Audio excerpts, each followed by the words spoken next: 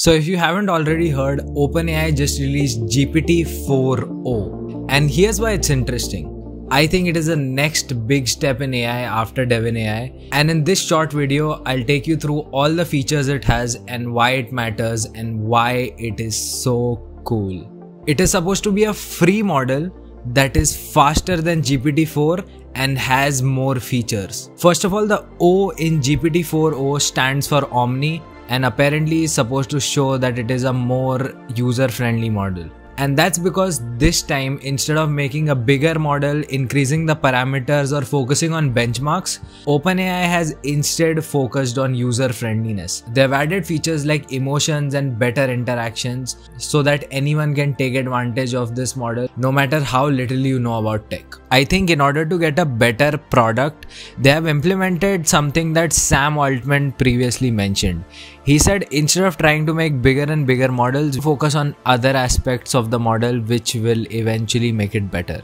So one of the most highlighted features in the demo yesterday was emotions.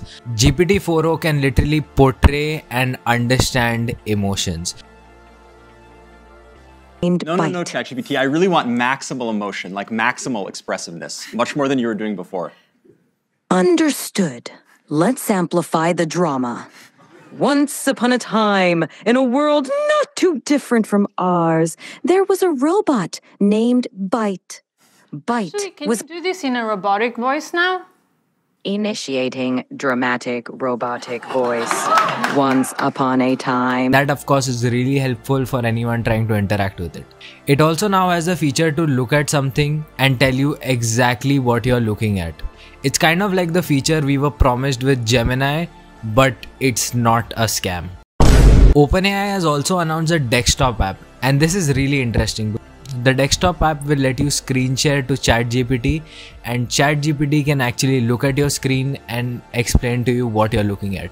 So, this could be helpful for coders. And what I would be expecting to see is people that are not that tech savvy getting help from GPT 4 to actually understand what's happening on the screen. I think this is going to play a big role in the advent of AI, not just by being a better model, but by being user friendly and making AI appealing to a larger sum of people.